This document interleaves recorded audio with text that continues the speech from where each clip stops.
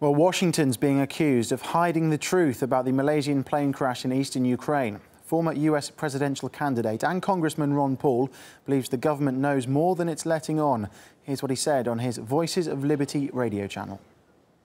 It's hard to believe that the U.S., with all its spy satellites available for monitoring everything in Ukraine, that precise proof of who did what and when is not available. When evidence contradicts our government's accusations, the evidence is never revealed to the public for national security reasons, of course. Too bad we can't depend on our government to just tell us the truth and show us the evidence. I'm convinced it knows a lot more than it's telling us.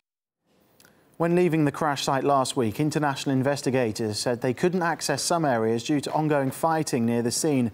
The probe is yet to establish what happened to the airliner, but Western politicians and media mostly blame local militia and point the finger at Russia for aiding them. Professor Peter Kuznick, who collaborated with director Oliver Stone on the TV series The Untold History of the United States, says that's misleading. We're getting a story about what's happening in Ukraine that is very, very distorted.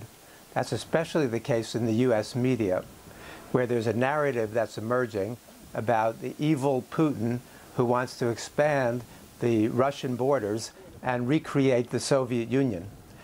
So this, this vision of, of Putin as this aggressive threat to world peace and stability is really destabilizing the region.